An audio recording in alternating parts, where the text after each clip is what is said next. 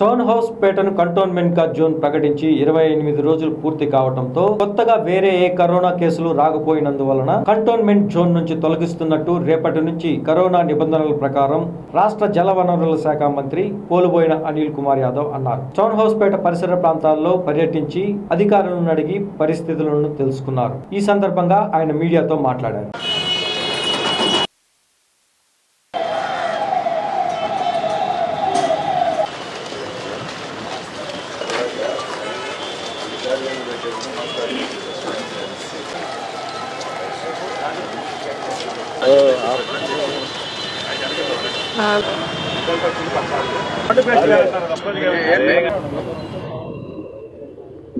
సోనోస్పేట ప్రాంతంలో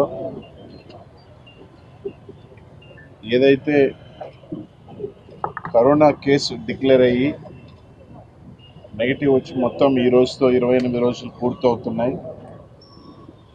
కాబట్టి రేపు నుంచి ప్రాంతంలో ఏదైతే ఒక కేసు వస్తే ఆ ప్రాంతంలో ఇరవై ఐదు రోజుల పాటు కంటైన్మెంట్ చేయాల్సి వస్తుంది.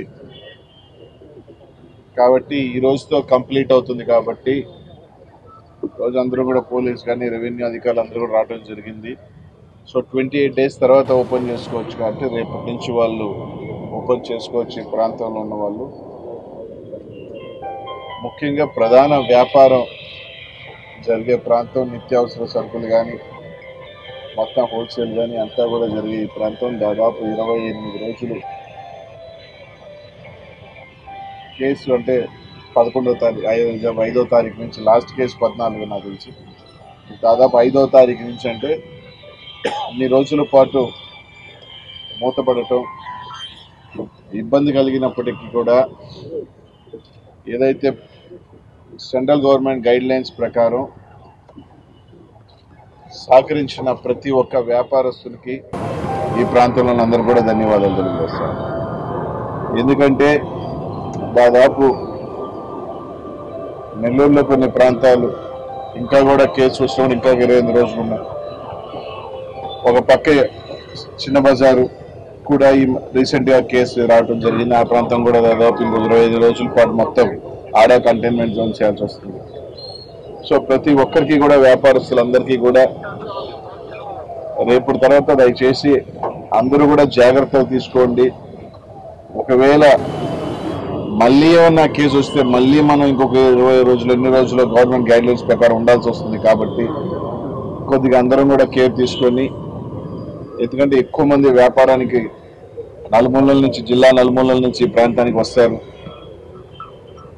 వాళ్ళకి సరుకులు కావాలని కూడా ఇక్కడి నుంచే తీసుకెళ్తారు. వ్యాపారానికి సంబంధించి కావచ్చు ఇళ్ళకి సంబంధించి కావచ్చు ఇక్కడి నుంచే తీసుకెళ్తారు కాబట్టి కొద్దిగా మీరు జాగ్రత్తలు పాటించాలని చెప్పి కోరుతా ఉన్నాను. ఎందుకంటే ఎవరికి ఎక్కడ నుంచి వస్తుందో తెలియని పరిస్థితి ఉన్నాయి కాబట్టి మళ్ళీ ఇబ్బంది కలగకుండా జాగ్రత్తలు తీసుకొచ్చిన బాధ్యత మీదే అని చెప్పి తెలియజేస్తా ఉన్నాం. సో అందరికీ కూడా దాదాపు రకరకాల పుకార్లు రకరకాల వదంతులు. ఇంట్లో కూర్చొని పనికి మాలని డైలాగులు పనికి మాలిన సోషల్ మీడియా అందుకని కూర్చోబెట్టి కొట్టడం తప్ప ఏదైతే గైడ్ లైన్స్ సంబంధించి పదకొండవ తేదీ లాస్ట్ కేసు అయితే పద్నాలుగో తేదీకి మనకి కేసు డిక్లేర్ అయ్యడం జరిగింది ఆ రోజు నుంచి ఇరవై ఎనిమిది రోజులు అంటే ఈ రోజుతో కంప్లీట్ అవుతుంది మనకి. సో రేపటి నుంచి as per guidelines open చేసుకోమని చెప్పడం జరిగింది. దీనికి సంబంధించి ఎవరు ఎవరిని కూడా ఇబ్బంది పెట్టాలని ఆలోచన ఉండవు. సహకరించినందుకు ధన్యవాదాలు తెలియజేస్తున్నాను. ఎందుకంటే వేరే సమయాలు అయితే అర్థం చేసుకోవచ్చు కానీ ఇది గవర్నమెంట్ గైడ్ లైన్స్ సెంట్రల్ దగ్గర నుంచి కూడా ఏదైతే గైడ్ లైన్స్ ఉన్నాయో అందరూ కూడా ఫాలో అవుతా ఉన్నాం తప్ప అంత మనిషికి ఏం లేదు. ఇక్కడ అందరం కూడా జాగ్రత్త వహించి ఇక్కడి నుంచి ఎందుకంటే కొద్దిగా ఇక్కడి నుంచి మనం ఇంకొక పొరపాటున ఇంకొక కేసులు వస్తే ఇంకా పది రోజులు అంటే మాత్రం చితికిపోతాం.